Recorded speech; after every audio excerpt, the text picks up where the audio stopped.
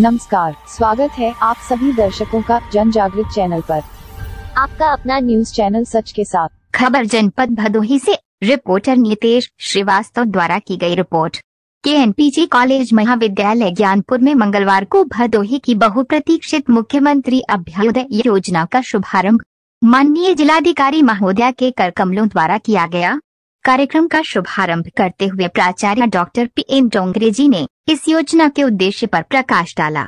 जिलाधिकारी महोदया ने इसे अत्यंत सराहनीय कदम बताते हुए माननीय मुख्यमंत्री का आभार व्यक्त किया।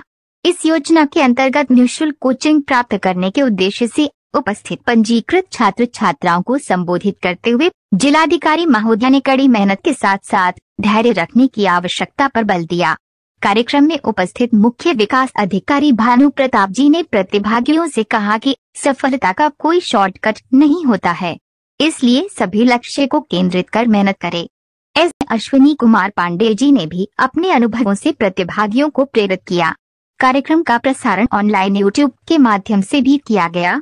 कार्यक्रम का संचालन को कोऑर्डिनेटर डॉक्टर रश्मि सिंह ने व धन्यवाद ज्ञापन जिला समाज कल्याण अधिकारी महेंद्र यादव जी ने किया।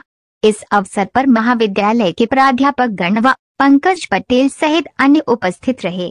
बाई तारिका अखोरी जिलाधिकारी भदोही। माननीय मुख्यमंत्री अभ्योदय योजना का शुभारंभ कार्यक्रम था। ये योजना बच्चों को जो यूपीएससी पीसीएस आईआईटी इत्यादि एग्ज़ाम्स की प्रतियोगी एग्ज़ाम्स की तैयारी करेंगे उनको निःशुल्क कोचिंग देने का कार्यक्रम है। उसका शुभारंभ कार्यक्रम किया मैम कॉम्पिटेटिव एग्ज़ाम्स तो सब्जेक्ट बेस्ड होती हैं।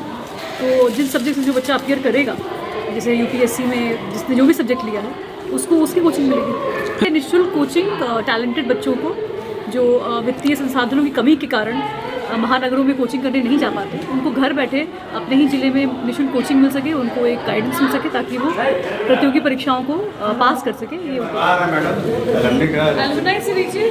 एलमनी का प्रॉपर एक्शन का है अच्छा रहेगा ना। लास्ट स्टेज में इस चैनल पर दिखाए जाने वाले सभी न्यूज़ से अपडेट रहने के लिए चैनल को सब्सक्राइब करें और बेल आइकन को दबाना ना भूलें। धन्यवाद।